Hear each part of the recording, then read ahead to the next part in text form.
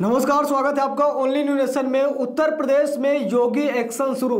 लुटेरे अस्पताल और लुटेरे डॉक्टरों पर योगी आदित्यनाथ का एक्शन शुरू हो चुका है और कई हॉस्पिटल के लाइसेंस निरस्त कर दिए गए हैं। कई डॉक्टरों को जेल भेजे जाने का सिलसिला शुरू हो चुका है, क्योंकि जिस तरह से जनता से खिलवाड़ करना, उनसे जबरन पैसे ऐंठना और लाशों के साथ खेल खेलना। यानी कि मरीज़ जब तक हॉस्पिटल में एडमिट है, तब तक तो पैसा लेते ही है, लेकिन जब वो मर जाता है, फिर भी ये बताकर कि अभी वो ज़िंदा है, क्रिटिकल है, ज़्यादा पैसे लगेंगे यानी कि मुर्दे से भी लाश ऐठना शुरू कर देते हैं। यानी कि इंसानियत को तार तार किया गया, जिन्हें हम भगवान समझते थे। डॉक्टरों को हम भगवान समझते हैं, क्योंकि वो हमारे इंसान की ज़िंदगी बचाते हैं। लेकिन डॉक्टर जब हैवान हो जाएँ तो उनके साथ क्या करना चाहिए? जब हम संविधान के चारों स्तंभों पर सवाल खड़े कर सकते हैं, चाहे वो न्यायपालिका हो, चाहे वो पत्रकारिता हो, कोई भी कार्यपालिका हो, सब पर जब हम सवाल खड़े कर सकते हैं तो हम आईएमए पे सवाल क्यों नहीं खड़े कर सकते? चलिए हम आपको दिखाते हैं, उत्तर प्रदेश में योगी आदित्यनाथ ने डॉक्टरों पर एक्शन लेना शुरू कर दिया है। उन अस्पतालों में अब ताले लगेंगे, जो अस्पताल पैसे लूटना शुरू कर चुके हैं। यानी कि जबरन मरीजों से पैसे हटना शुरू कर दिए हैं, उन अस्पतालों की अब खैर नहीं। बता दूँ आपको, उत्तर प्रदेश में 33 ज़िले 33 जिलों के अस्पतालों व नर्सिंग होम पर योगी एक्शन शुरू हुआ है। चलिए हम आपको नाम भी बता रहे हैं। उत्तर प्रदेश के वो कौन से 33 ज़िले हैं जिन पर योगी आदित्यनाथ ने एक्शन लिया है और वहाँ के कई अस्पतालों के लाइसेंस छीन लिए गए हैं और उन पर ताले लगा दिए गए हैं और उन्हीं अस्पताल के कई डॉक्टरों को जेल में भी डाल दिया गया है। बता दूँ, आगरा, बाराबंकी, मथुरा, हाथरस, मेरठ, गाजियाबाद, बुलंदशहर गौतम बुद्ध नगर, नोएडा, मुजफ्फरनगर, बागपत, हापुड़, सहारनपुर, शामली, कानपुर नगर, कानपुर देहात, इटावा, औरैया, लखनऊ खीरी, वाराणसी, आजमगढ़, जौनपुर, मऊ, भदोही, गोरखपुर, बस्ती, बहराइच, बरेली, शाहजहांपुर, मुरादाबाद, संभल, प्रयागराज व रामपुर। यानी इन सभी जिलों पर योगी ने एक्शन लिया है। इन सभी जिलों के हॉस्पिटल में योगी आदित्यनाथ ने निगरानी की है, क्योंकि इन्होंने खूब पैसे लूटे हैं। मरीज़ को एडमिट करने के बाद ये मरीज़ जितना वज़न उसका नहीं होता, उससे ज़्यादा ये लोग पैसे ऐंठने लगते हैं। जिसको चलते योगी आदित्यनाथ ने ये कड़ा एक्शन लिया है और ये सही वक्त है। अभी तक तो हम आईएमए को, मेडिकल एजेंसी हो या फार्मा एजेंसी हो, जहाँ पर दवाएँ बनती हैं, इन पर कभी कोई एक्शन लिया ही नहीं गया। अस्पताल की जो मर्ज़ी वो करते थे, कोई एक्शन नहीं। लेकिन आज उत्तर प्रदेश के मुख्यमंत्री योगी आदित्यनाथ ने साबित कर दिया है कि जो भी काम करेगा, वो न्यायपालिका के अंडर में काम करेगा। मनमानी कोई नहीं करेगा। अभी तक मनमानी चलती चली आई है, लेकिन अब मनमानी नहीं चलेगी। चलिए, अब आपको कुछ हॉस्पिटल के नाम बता रहे हैं। शायद आपके घर के पड़ोस में हॉस्पिटल हो। जाइए देखिए वहाँ पर योगी आदित्यनाथ ने कैसे एक्शन लिया है और वहाँ के जो बड़े बड़े डॉक्टर हैं, जिन्हें हम डॉक्टर साहब डॉक्टर साहब कहते हैं, जिनके पैरों पर हम अपनी नाक रगड़ते हैं कि डॉक्टर साहब, हमारे मरीजों की जान बचा लीजिए। पैसा जितना होगा हम देंगे। अगर डॉक्टर एक हज़ार कहता है तो हम नौ सौ निन्यानबे नहीं, बल्कि एक हज़ार रुपये देते हैं। और पैर पकड़ते हैं, हाथ जोड़ते हैं कि डॉक्टर साहब आप हमारे मरीज़ को बचा लीजिए। लेकिन वहीं पर डॉक्टर साहब अपने आप को भगवान समझने लगते हैं। वो कहते हैं, ठीक है, बाद में उसी को मार देते हैं। एक तो उस घर का इंसान चला गया। अपने इंसान को उस घर के लोगों ने खो दिया। दूसरी बात, जो खेत बेचकर पैसा लाया था, उसका वो खेत भी चला गया।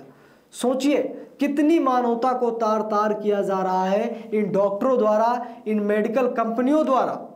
जिसके पास लाइसेंस नहीं है, एक लाइसेंस से दस दस मेडिकल स्टोर बीस बीस मेडिकल स्टोर पूरी मार्केट बना दी जा रही है। एक लाइसेंस से जिसके पास कोई फार्मा डिग्री नहीं है, किसी प्रकार की कोई मेडिकल डिग्री नहीं है बारहवीं पास हैं, वो भी मेडिकल स्टोर खोल कर बैठे हुए हैं। और ये बात सब सीएमओ को पता होती है, सब सीएमएस जानते हैं, लेकिन उनसे वो पैसा ऐंठते हैं, वसूली करते हैं। करोड़ों रुपये का ये सब खेल है। अब सरकार को मेडिकल एजेंसियों पर भी ध्यान देने का वक्त आ चुका है। हम एक रुपये की दवाई एक हज़ार की नहीं खरीद पाएँगे। और आज यही देश कह रहा। चलिए, हम आपको कुछ हॉस्पिटल के नाम बता रहे हैं। देखिए कौन से हॉस्पिटल है जिन पर योगी आदित्यनाथ ने एक्शन लिया है। सबसे पहले एक आस्था हॉस्पिटल है बस्ती में। इसके आरोपियों को जेल में भेजा गया है। एक सिवा अस्पताल बस्ती में, जहाँ पर योगी आदित्यनाथ ने एक्शन लिया है। Billa hospital, Bulandshahr Krishna hospital, super speciality hospital है, जहाँ पर कई तरह की सुविधाएँ दी जाती हैं। इन्होंने कृष्णा सुपर स्पेशलिटी हॉस्पिटल रख दिया है और पैसे लूटने का एक अड्डा बना लिया है। वहीं पर फैमिली अस्पताल, तुलसी अस्पताल व fortune Kanpur hospital, Aastha hospital, Barabanki, Divyanshu अस्पताल, जौनपुर, दो पंजीकृत चिकित्सक मेरठ भी हैं। इनमें से इन अस्पतालों को नोटिस व जाँच की कार्रवाई करने के आदेश दिए गए हैं। बस्ती में शिवा हॉस्पिटल, हैप्पी अस्पताल, आस्था हॉस्पिटल। आगरा में Ravi hospital, Ayushman heritage, Shanti Devi institute, Ram Raghu hospital नयत hospital. Om hospital, synergy hospital, Kamlesh Tandon nursing home, Yashwant hospital. Moradabad में ब्राइट स्टार, मेरठ में आस्था, भोपाल नर्सिंग होम, बुलंदशहर में बिल्ला हॉस्पिटल, शामली में दिव्या पैरा मेडिकल व गंगा अमृत hospital, Kanpur में Krishna super speciality family hospital, Tulsi fortune hospital, Kanpur Dehat में Rajawat hospital, Etawah में Divyanshi hospital, Bhadohi में Jiya heart care centre, Jeevandeep. नाम देखिए आप, जीवनदीप। यानी कि जीवन को उजागर करने वाले, जीवन में एक दीपक जलाने वाले, ऐसे ऐसे नाम लिखते हैं, लेकिन जीवन को ये शमशान घाट बना देते हैं। जीवन को कैसे बर्बाद कर रहे हैं डॉक्टर्स लोग? सब पर सवाल नहीं खड़ा कर रहे हैं। हम किसी पर्सनल डॉक्टर पर सवाल नहीं खड़ा कर रहे हैं। लेकिन जो घटनाएँ हमारे सामने आ रही हैं, उन पर हम बात कर रहे हैं। डॉक्टर लड़ने लगते हैं। किसी घर का मरीज़ चला गया, उसकी तो ज़िंदगी बर्बाद हो गई डॉक्टर साहब। वो आपसे बहस नहीं करेगा तो किससे करेगा? जब वो आपको पैसे दे सकता है, जब वो आपको अपने मरीज़ का इलाज करने दे सकता है, यानी कि जब वो अपने जीवन की सबसे अमूल्य चीज़ आपको गिफ्ट कर देता है तो वो चिल्लाएगा किस पर? आपकी लापरवाही की वजह से उसकी जान चली गई। लापरवाही ऐसी है, कोविड पेशेंट है, उसके पेट में चीरा क्यों लगाया जाता है? उसका सर क्यों काटा जाता है? क्यों उसके सीने में छुरियाँ भोंकी जाती हैं? क्यों आप उसका चीर फार करते हैं? वो तो कोविड टेस्ट कराने गया था। आपने उसके साथ ऐसा क्यों किया? सरकार को अब ध्यान देने की ज़रूरत है। इन डॉक्टरों पर जो डॉक्टर के नाम पे धंधागिरी कर रहे हैं, जो चमड़ी बेचकर दमड़ी कमाने का काम कर रहे हैं, जो मासूमों के साथ अत्याचार कर रहे हैं, उन डॉक्टर्स के ऊपर अब कड़ी कार्रवाई होनी चाहिए। ये एक्शन उत्तर प्रदेश में ही नहीं बल्कि देश के सभी राज्यों के मुख्यमंत्रियों को ऐलान कर देना चाहिए कि जो डॉक्टर्स मरीजों को लूटेंगे और जो मेडिकल स्टोर, जो एमआरपी पे तो वैसे भी दवाएँ मान्य नहीं होती हैं, लेकिन फिर भी एमआरपी से बढ़कर दवाएँ दे देते हैं। लोग कहते हैं बाद में जब कोई थाने जाता है कोई तो कहता है, तुम पढ़े लिखे क्यों नहीं हो? तुम्हें क्यों नहीं पता एमआरपी से नीचे मेडिकल स्टोर में दवाई ली जाती है? साहब जब देश इतना ही महान होता तो ऐसे ही नहीं बर्बाद होता। इसीलिए जो पढ़े लिखे हैं कम से कम वो तो जो अनपढ़ हैं उनको तो कुछ सिखाएँ। लेकिन जो आज मेडिकल स्टोर खोल लिए और राजा बने बैठे हैं और बार बार मरीज़ जाता है, दस रुपये की दवाई, वही दवाई पाँच सौ में मिलने लगी है। तो लूटपाट बंद होनी चाहिए, क्योंकि स्वास्थ्य से ही देश टिका हुआ है, स्वास्थ्य विभाग से ही देश टिका हुआ है, और आज स्वास्थ्य विभाग ने बड़ी भारी ज़िम्मेदारी उठाई है। तभी इतने लोगों की जान बची है। और भी लोगों की जान बच जाती, अगर स्वास्थ्य विभाग और सही तरीके से काम करता।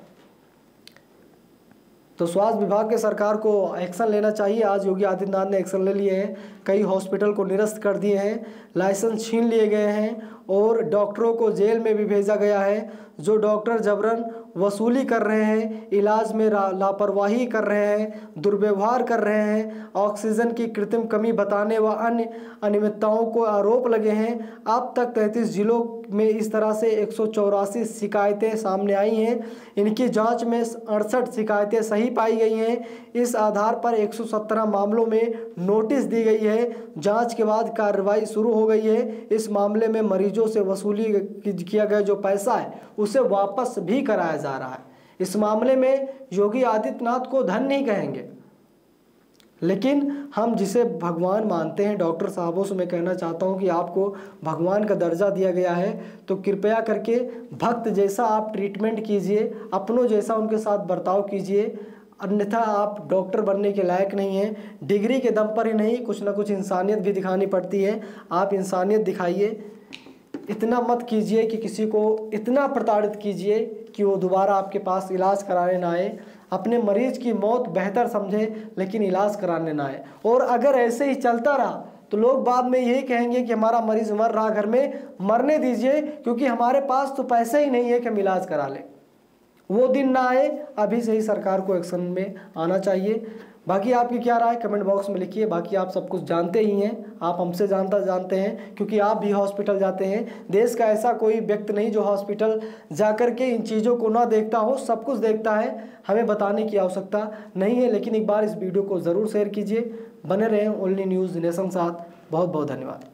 मैं Manas Mishra, the news ocean का मैनेजिंग डायरेक्टर। आपके लिए एक ऐसी पत्रिका पहली बार आई है जो सिर्फ़ सच दिखाएगी।